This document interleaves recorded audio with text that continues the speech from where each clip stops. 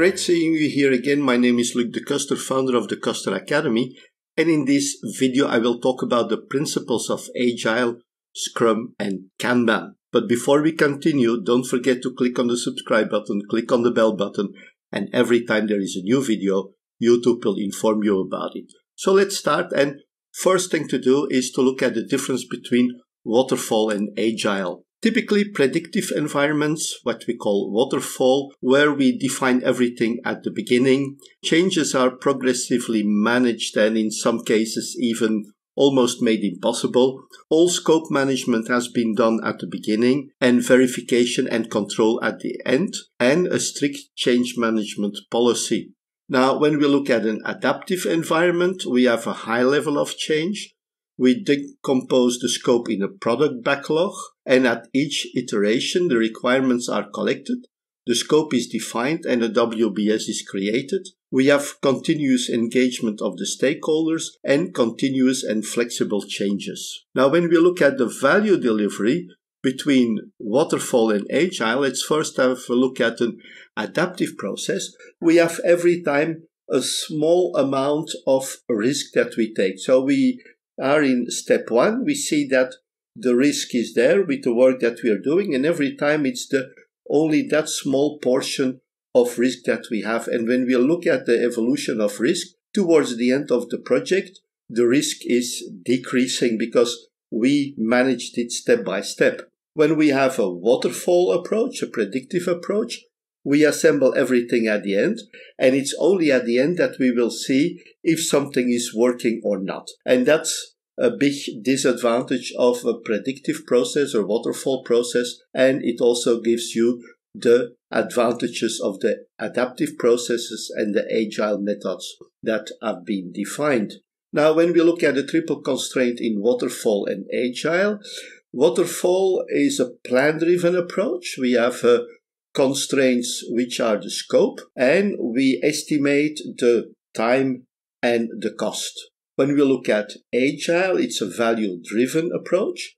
We have the constraints which are time and money cost and the estimate is about the scope that we are going to do. Now that's one of the important elements that we have when we're comparing the triple constraint between waterfall and agile. Now, when we look at agile, we also have to understand the agile principles. Before we had agile, people were already trying to find different ways to create more adaptive project management methods. And in 2001, the people who have been developing the agile software met to create what we call today the agile manifesto. The manifesto has 12 principles and they're based on the core values of the agile method. First core value is the individuals and interactions over processes and tools, working software over comprehensive documentation, customer collaboration over contract negotiation, and responding to change over following a plan. We don't create a plan like we did before, but we do it in iterations. Now, when we look at the Agile Manifesto, there are 12 principles. The first six are on this slide. So we have satisfy the customer, one of the main principles. Welcome changing requirements. We are adaptive. We are flexible. Deliver working software frequently. We always have a solution that is working. Work together. Everybody is cooperating. It's not isolated. We can, in the business people can intervene very quickly to adapt or to implement changes, build projects around motivated individuals. Motivation is very important because we have self leading teams. Face to face conversation is the best way to deal with it. We can look at different elements. We can look at the face to face communication in co location. That's one of the best things that we can have when we're dealing with this type of projects.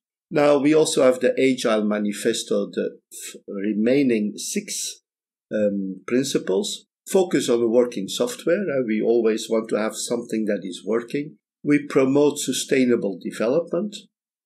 We ensure technical excellence. Simplicity is essential. It refers to the maxim- to maximizing the work not done. We only create value. We don't do work that is not necessary.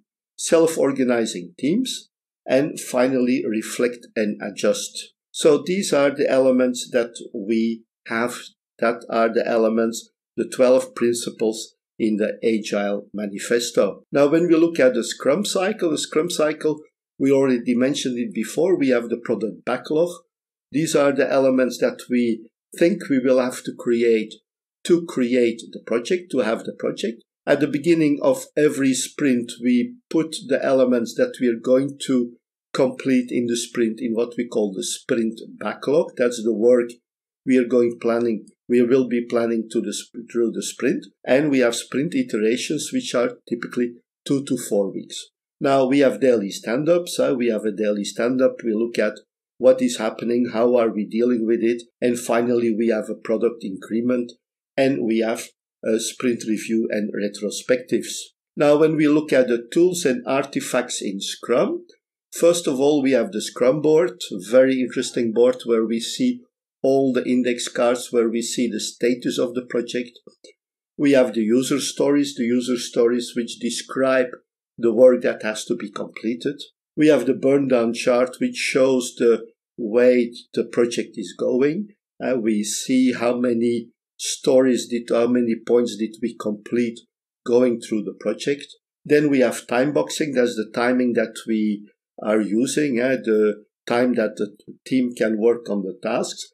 And icebox is where we put the stories that we didn't use. Now, when we look at the core practices and principles of Kanban, uh, in Kanban, it's a little bit different. We have a constant flow. So here we have to visualize the workflow we are having a flow system, not where, where there is no sprint system. We have to limit the work in progress, so we limit for every step the work so that no activities were, are waiting for people to work on them. We limit it, the work, the activities are limited to the number of people that can be working in that moment.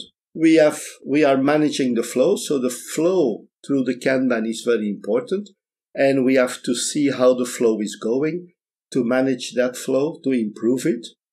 We have process policies that we have to set up. And finally, we have to improve continuously. That's also what means Kaizen, continuous improvement. We want to do it better and better and better. When we look at burn down charts, there are different scenarios. We have the ideal situation where we have the, that every sprint is doing the work approximately like we planned. We're perfect. We have uh, different reasons for that. You can find them in the previous course. We have a drop at the end. Uh, we have a drop at the beginning, which means typically that we were, let's say, pessimistic.